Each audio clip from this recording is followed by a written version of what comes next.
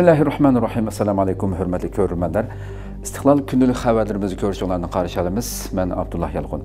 Proqramımızda vətənimiz Şərq Türkistan və dünya gün tərtibindəki ən mühim xəbərlərini huzurunuza sunumuz. Qənəmsizlik qıtanlar ekranımız olsun. Xitoyning Tibetdagi atalmish kasbiy tarbiyalash siyosati diqqat qo'zg'amoqda. Kishilik huquq mutaxassislari bayonot e'lon qilib xitoyning atalmish kasbiy tarbiyalash planining tibatlarning kimligiga tahdid ekanligini xitoyning mazkur planida majburiy amgak xavfi borligini bildirishdi.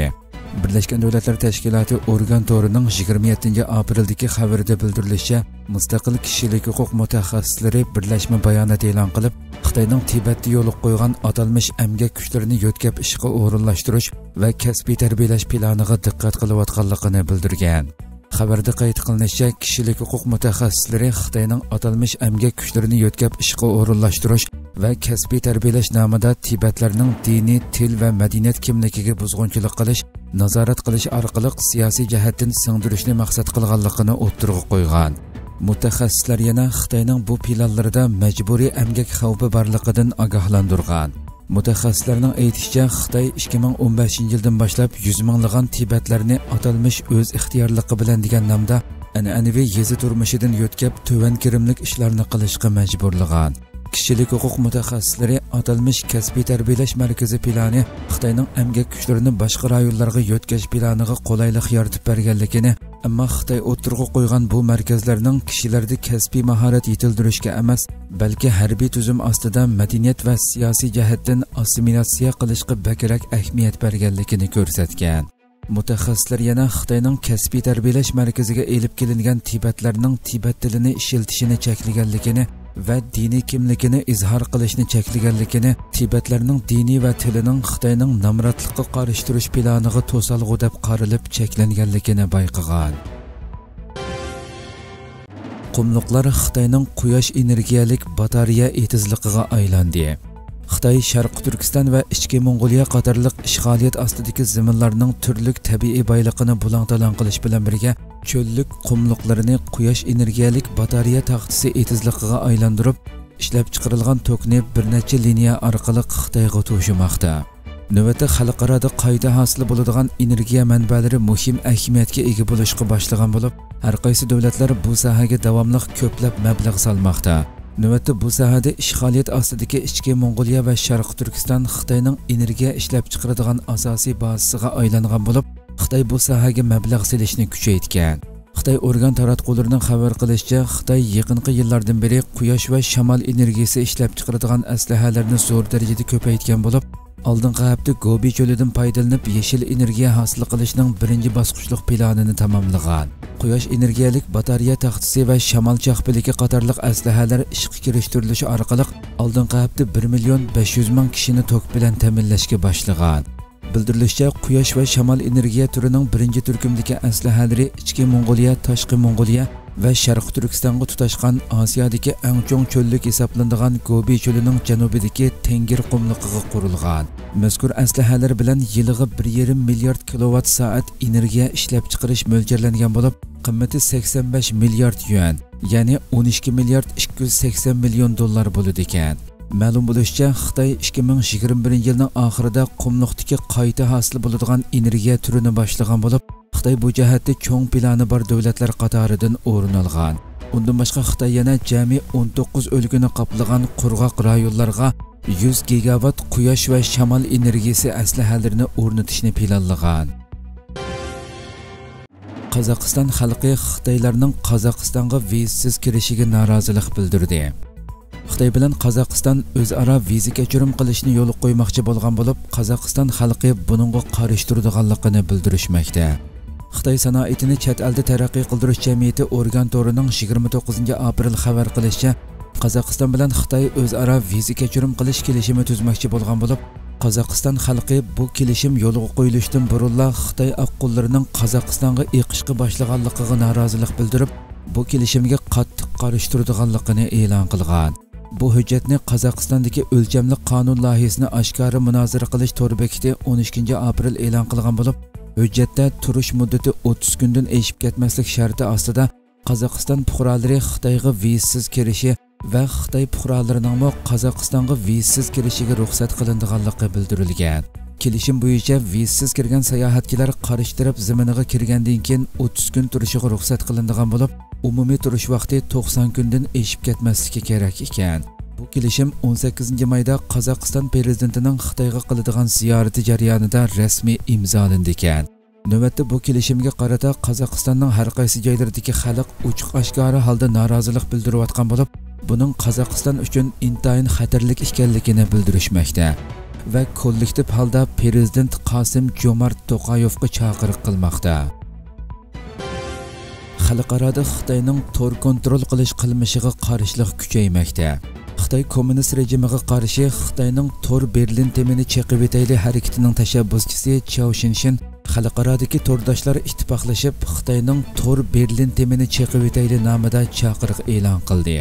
Amerika ovozining xabarida bildirilishicha 3 may dunyo axborot erkinligi kuni harfisida xitoyning to'r berlin temini chaqib etayli harakatining qurg'uvchisi chao shinshin dunyoning har qaysi joylaridagi to'rdoshlarni xitoyga qarshi ittifoqlashishga shundoqla har qaysi davlat hukumatlari va parlament a'zolaridan bu xil elektronlik turma temining ziyinini to'liq tushunishini talab qilgan u yana xitoy kommunist rejimi tarafidan qurilgan va boshqarilgan to'r mudofaa temaga erkin dunyoga qarshi uchur hamda insoniyatga qaratilgan intayin ig'ir jinoyat va irqiy ayrimchilik jinoyati deb aniqlama bergan. U yana navbatda bu harakatni tashabbus qilg'uvchilarning xitoy kompartiyasi ustidan xalqaro jinoiy ishlar sotiga arz qildiganligini aytgan.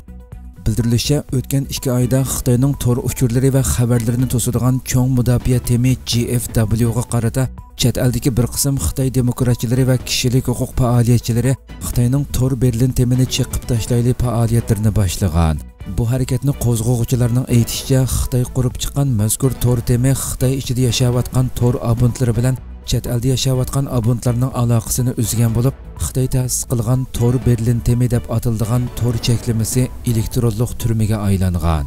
Xitoyning to'r berlin temini chiqib etayli harakati tashabbuschilarining aytishicha xitoy kompartiyasi rahimsizlarcha mustabid hokimiyatni saqlab qolish uchun g'oyat zo'r mablag' sarf qilib mudofaa temi yasab chiqqan. Xitoy bu xil razil vositalar orqali xitoy cho'ng quruqligidagi 1 milliard 400 million kishini tom sirtidagi 6 milliarddan ortiq kishidan yiroqlashtirgan. Xitoy bu xil vosita orqali erkin va demokratik dunyo tuzilmasiga qarshi harakat qilib insoniyatga qarshi jinoyat sodir qilgan. Xabarda xitoyning sharqi turkistondagi xalq bilan chet elda yashayotgan xalqning umumiy aloqasini cheklab ziyonkashlik qilganligi sharqi turkistondan chet elga uchur yetkazgan kishilarni 15 yil qamoq jazosiga hukm qilganligi tilga ilingan ma'lum bo'lishicha ko'p yillardan buyon xitoy mazkur to'r mudofaa sepili texnikasini rossiya Iran, berma kambodja va boshqa davlatlarga eksport qilgan bo'lib xitoyning to'r mudofaa sepili texnikasi xalqaro jamiyatning normal tartibini qalaymaqon qilmoqda ekan. Putin vatanga xiyonat qilganlarga muddatsiz qamoq jazosi berish qarorini tasdiqladi. Rossiya prezidenti vladimir putin vatanga xiyonat qilganlarga muddatsiz qamoq jazosi berish qarornomasini imzoladi. Turkiya ovozi radiosi xabarida bildirilishicha rossiya davlatlik qonun uchur sistemasida e'lon qilingan qarornomaga asoslanganda rossiyada vatanga xiyonat qilish jinoyati sodir qilganlarga muddatsiz qamoq jazosi beriladi ekan. Bu qarornomaga asosan terrorlik jinoyati sodir qilganlarga beriladigan 15 yillik qamoq jazosi 20 yilga chiqarildi ekan xalqaroliq terrorlik jinoyati sodir qilganlarga bo'lsa jinoyat ahvoliga qarab 12 yillikdan muddatsiz qamoq jazosigacha jazo berildi ekan terrorlikqa tashviq qilish jinoyati sodir qilganlarga 5 yildan 7 yilgacha muddatli qamoq jazosi terrorlik tashkilotlarga qatnashganlarga 10 yildan 15 yilgacha muddatli qamoq jazosi berildi ekan Mustafa Şentop Türk dövlətləri bilən bolğan ittifaqlıq və həmkarlıqni təkidlədi. Türkiyə parlamenti başlığı Mustafa Şentop Türk dövlətləri buluş sübti bilən ittifaqlıq və həmkarlıq arqalıq yolunu davamlaşdırış iradəsini cəzimləşdirgənlikini eytdi. Türkiyə Avaz Radiosu xəbərdə bildirilishçə, Türkiyə parlamenti başlığı Mustafa Şentop, Azərbaycan parlamenti başlığı Sahib Cemal Qafarova, Qırğızistan parlamenti başlığı Nurlanbek Şakiyov va qozog'iston parlamenti boshlig'i yerlan kushanov bilan 12 navbatlik turkiy tilda so'zlashadigan davlatlar parlamentlar birligi turkbaning umumiy kengash yig'inidan keyin axborot e'lon qilish yig'ini chaqirdi.